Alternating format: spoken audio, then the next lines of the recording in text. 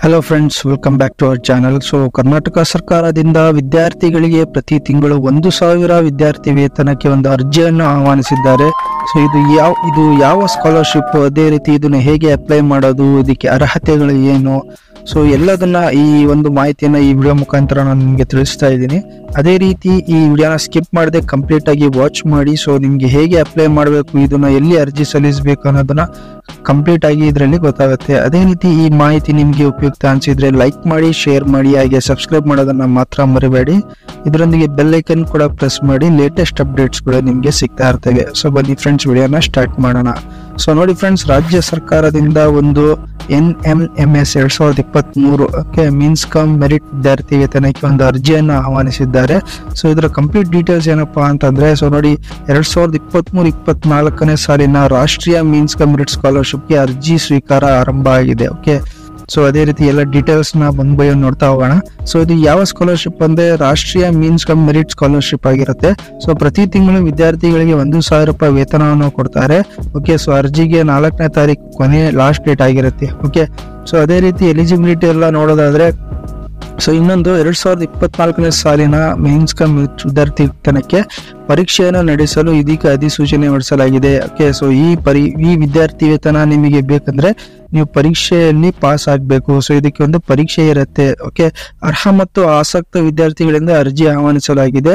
ಈ ಸದರಿ ಪರೀಕ್ಷೆಯನ್ನು ಇಪ್ಪತ್ತ್ ಮೂರು ಇಪ್ಪತ್ನಾಲ್ಕನೇ ಸಾಲಿನಲ್ಲಿ ಸರ್ಕಾರಿ ಅನುದಾನಿತ ಮತ್ತು ಸ್ಥಳೀಯ ಸಂಸ್ಥೆ ಶಾಲೆಗಳಲ್ಲಿ ಎಂಟನೇ ತರಗತಿಯಲ್ಲಿ ಓದುತ್ತಿರುವ ವಿದ್ಯಾರ್ಥಿಗಳಿಗೆ ಕರ್ನಾಟಕ ಶಾಲಾ ಪರೀಕ್ಷೆ ಮೌಲ್ಯ ನಿರ್ಣಯ ಮಂಡಳಿ K S Q A U ವತಿಯಿಂದ ನಡೆಸಲಾಗುತ್ತದೆ. ಓಕೆ ಸೊ ಈ K S Q A C ಸಂಸ್ಥೆ ಅಂದರೆ ಬೋರ್ಡ್ ಏನಿದೆ ಆ ಬೋರ್ಡ್ನಿಂದನೂ ಬೋರ್ಡ್ ನಿಂದನೂ ಒಂದು ಒಂದು ಒಂದು part of the education departments okay so ಇವರಿಂದ ಇದು ಒಂದು ಪರೀಕ್ಷೆನ ನಡೆಸ್ತಾರೆ. ಓಕೆ ಸೊ ವಿದ್ಯಾರ್ಥಿ ವೇತನ ಮಾಹಿತಿ ಬಗ್ಗೆ ನೋಡೋದಾದ್ರೆ, ಈ ಪರೀಕ್ಷೆಯಲ್ಲಿ ಆಯ್ಕೆಯಾದವರಿಗೆ ಒಂಬತ್ತನೇ ತರಗತಿಯಿಂದ ಮಾಸಿಕ ಒಂದು ಸಾವಿರ ರೂರಂತೆ ಒಂದು ವರ್ಷಕ್ಕೆ ಹನ್ನೆರಡು ಸಾವಿರ ವಿದ್ಯಾರ್ಥಿ ವೇತನವನ್ನು ನಾಲ್ಕು ವರ್ಷಗಳವರೆಗೆ, ಅಂದ್ರೆ ದ್ವಿತೀಯ ಪಿ ಯು ಸಿ ಅಂದ್ರೆ ನೈನ್ತ್ ಇಂದ ಸ್ಟಾರ್ಟ್ ಆದ್ರೆ so up to twelve P U C ವರೆಗೆ ಪ್ರತಿ ತಿಂಗಳು ಒಂದು ಸಾವಿರ ರೂರಂತೆ ಹನ್ನೆರಡು ಸಾವಿರ ಪ್ರತಿ ತಿಂಗಳು ವಿದ್ಯಾರ್ಥಿ ವೇತನವನ್ನು ಕೊಡ್ತಾರೆ. ಓಕೆ ಸೀದಾ ಬ್ಯಾಂಕ್ ಖಾತೆಗೆ, ನಿಮ್ಮ ಬ್ಯಾಂಕ್ ಖಾತೆಗೆ ನವದೆಹಲಿ ಅವರು ನೇರವಾಗಿ ಜಮಾ ಮಾಡ್ತಾರೆ. ಓಕೆ ಸೊ ವಿದ್ಯಾರ್ಥಿಗಳು ಡಬ್ಲ್ಯೂ ಡಬ್ಲ್ಯೂ ಡಾಟ್ ಸ್ಕಾಲರ್ಶಿಪ್ ಇಲ್ಲಿ ವೆಬ್ಸೈಟ್ ಕೊಟ್ಟಿದ್ದಾರೆ. ಈ ವೆಬ್ಸೈಟ್ ಇಂದ,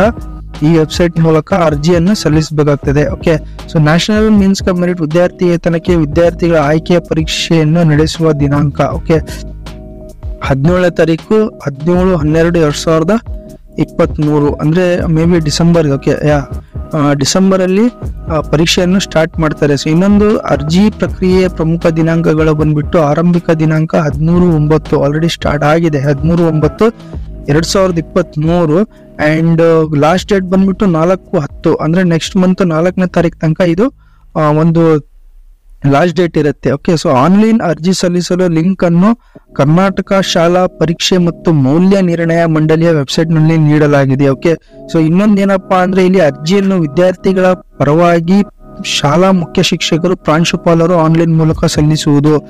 ಸೊ, ಅರ್ಜಿಯ ಡೈರೆಕ್ಟ್ ಲಿಂಕ್ ಕೆಳಗೆ ಅಂತಿದೆ. ಇದು ವೆರಿ ಇಂಪಾರ್ಟೆಂಟ್. ಇಲ್ಲಿ ನೋಡ್ಬೋದು ನೀವು. ನೀವೇನು ವರಿ ಮಾಡ್ಕೋ ಅವಶ್ಯಕತೆ ಇಲ್ಲ. ನಿಮ್ಮ ಮಗನ ಅಥವಾ ಮಗಳ ಏನು ಡೀಟೇಲ್ಸ್ ಇದೆ? ಏಯ್ತ್ ಅಥವಾ ಸೆವೆಂತ್ ಡೀಟೇಲ್ಸ್ ಎಲ್ಲದೂ ತಗೊಂಡಾಗಿ ನೀವು ನಿಮ್ಮ ಮುಖ್ಯಸ್ಥರು, ಪ್ರಾಂಶುಪಾಲರು ಅಥವಾ ಶಾಲಾ ಮುಖ್ಯ ಶಿಕ್ಷಕರಿಗೆ ಕೊಟ್ಟರೆ ಅವ್ರ ಥ್ರೂನೇ ಇದು ಅಪ್ಲೈ ಮಾಡಬೇಕು. ಅಂದರೆ ಇದು ವಿದ್ಯಾರ್ಥಿಗಳ ಪರವಾಗಿ ಶಾಲೆಯ ಮುಖ್ಯ ಶಿಕ್ಷಕರ ಇದನ್ನ ಅಪ್ಲೈ ಮಾಡಬೇಕು. ಇದು ಡೈರೆಕ್ಟ್ ಲಿಂಕ್ ಆಗಿರುತ್ತೆ ಅಪ್ಲೈ ಮಾಡೋಕ್ಕೆ. ಓಕೆ ಸೊ ಅರ್ಜಿ ಸಲ್ಲಿಸುವ ಅರ್ಹತೆಯನ್ನು ನೋಡೋದಾದ್ರೆ ವಿದ್ಯಾರ್ಥಿಗಳು ಎಂಟನೇ ತರಗತಿಯಲ್ಲಿ ಪ್ರಸಕ್ತ ಶೈಕ್ಷಣಿಕ ಸಾಲಿನಲ್ಲಿ ಓದುತ್ತಿರಬೇಕು. ಓಕೆ ಸೊ ಎಂಟನೇ ತರಗತಿಯಲ್ಲಿ ಈಗ ವ್ಯಾಸಂಗ ಮಾಡ್ತಿರಬೇಕು. ಅರ್ಜಿ ಸಲ್ಲಿಸಲು ವಿದ್ಯಾರ್ಥಿಗಳು ಏಳನೇ ತರಗತಿಯ ಪರೀಕ್ಷೆಯಲ್ಲಿ ಸಾಮಾನ್ಯ ವರ್ಗ ಇತರೆ ಹಿಂದುಳಿದ ವರ್ಗ ಓಕೆ ವಿದ್ಯಾರ್ಥಿಗಳಾಗಿದ್ದಲ್ಲಿ ಶೇಕಡ ಐವತ್ತೈದು ಅಂಕ ಅವರಿಗೆ, ಸಾಮಾನ್ಯ ವರ್ಗದ ಮತ್ತೆ ಹಿಂದುಳಿದ ಎಸ್ ಸಿ ಎಸ್ ಟಿ ಅವರಿಗೆ ಅವರಿಗೂ ಐವತ್ತೈ, ಐವತ್ತು ಅಂಕ ಗಳಿಸಿರ್ಬೇಕು ಅಷ್ಟೇ. ಅವರಿಗೆ ಐವತ್ತೈದು ಎಸ್ ಸಿ ಎಸ್ ಟಿ ಅವರಿಗೆ ಐವತ್ತು ಅಂಕ ಗಳಿಸಿರ್ಬೇಕು ಓಕೆ ಮತ್ತೆ, ವಾರ್ಷಿಕ ಆದಾಯ ಮೂರುವರೆ ಲಕ್ಷಕ್ಕಿಂತ ಜಾಸ್ತಿ ಇರಬಾರ್ದು ಓಕೆ ಸೊ ಯಾರು ಅರ್ಹರಲ್ಲ ಅಂತಂದ್ರೆ, ವಸತಿ ಶಾಲೆಗಳಲ್ಲಿ ಅಥವಾ ರೆಸಿಡೆನ್ಷಿಯಲ್ ಸರ್ಕಾರಿ ರೆಸಿಡೆನ್ಷಿಯಲ್ ಸ್ಕೂಲಲ್ಲಿ ಯಾರು ಅಧ್ಯಯನ ಮಾಡ್ತಿದ್ದಾರೆ ಅವರು ಇದಕ್ಕೆ ಅರ್ಹರಲ್ಲ. ಅದೇ ರೀತಿ ಕೇಂದ್ರೀಯ ವಿದ್ಯಾಲಯ, ಸೈನಿಕ ಸೈನಿಕ ಶಾಲೆಗಳ ವಿದ್ಯಾರ್ಥಿಗಳು ಕೂಡ ಈ ಪರೀಕ್ಷೆಗೆ ಅರ್ಹರಿರುವುದಿಲ್ಲ ಓಕೆ ಸೊ ಪರೀಕ್ಷೆ ಉದ್ದೇಶ ಏನಪ್ಪಾ ಅಂತಂದ್ರೆ ಆ, ಪ್ರತಿಭಾವಂತ ವಿದ್ಯಾರ್ಥಿಗಳಿಗೆ ಗುರುತಿಸ ಗುರುತಿಸುವುದು ವಿದ್ಯಾರ್ಥಿಗಳ ವಿದ್ಯಾಭ್ಯಾಸ ಮುಂದುವರಿಕೆ. ಓಕೆ ಸೊ ಅವರು ಸ್ಟಾಪ್ ಮಾಡಬಹುದು ಯಾವುದೇ ಒಂದು ಫೈನಾನ್ಷಿಯಲ್ ರೀಸನ್ ಇಂದ ಆಗ್ಲಿ ಯಾವುದೇ ಒಂದು ರೀಸನ್ ಇಂದ ವಿದ್ಯಾರ್ಥಿ ಎಜುಕೇಶನ್ ಅನ್ನ ಸ್ಟಾಪ್ ಮಾಡಬಾರ್ದು ಅಂತ ಹೇಳ್ಬಿಟ್ಟು ಈ ಒಂದು ಸ್ಕೀಮ್ ಅನ್ನ ಲಾಂಚ್ ಮಾಡಿದ್ದಾರೆ.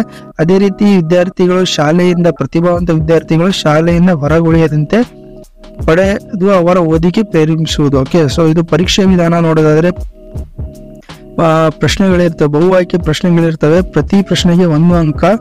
ಸೊ, ನಿಗದಿಯಾಗಿರುತ್ತದೆ. ಒಟ್ಟು ಎರಡು ಪರ- ಪ್ರಶ್ನೆ ಪತ್ರಿಕೆಗಳಿರ್ತವೆ. ಪರೀಕ್ಷಾ ಮಾದರಿ ಕೆಳಗಿನಂತಿದೆ. ಇಲ್ಲಿ ನೋಡಿ.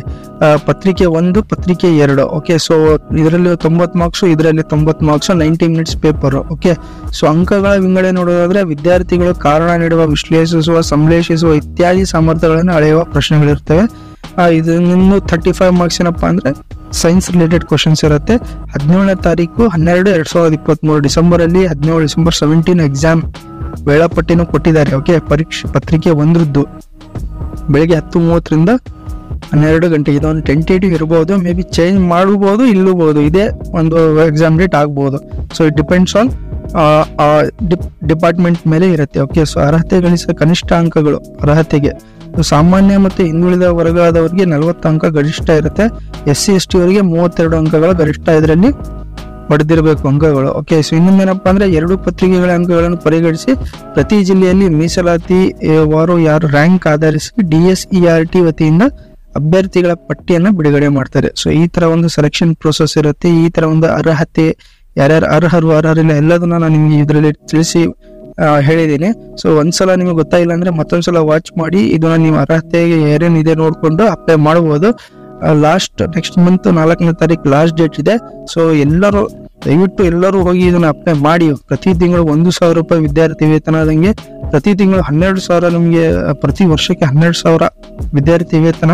ಇದು ಕಮ್ಮಿ ಅಮೌಂಟ್ ಅಲ್ಲ. ಸೊ ಯಾವ ಯಾವುದೇ ಕಾರಣಕ್ಕೂ ಈ ಒಂದು ಸ್ಕೀಮ್ನ ಮಿಸ್ ಮಾಡ್ಕೊಬೇಡಿ. ದಯವಿಟ್ಟು ಇದನ್ನ ಅಪ್ಲೈ ಮಾಡಿ ಅಂತ ಹೇಳ್ತಾ